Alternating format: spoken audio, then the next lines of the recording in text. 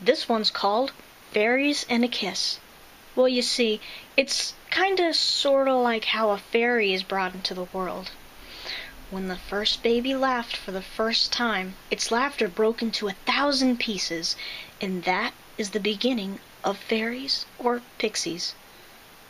And because that the pixie was made from that laugh, a kiss, well, it's just as important as a fairy is special. It too has a story and a lot of meaning. I was doing so good. no.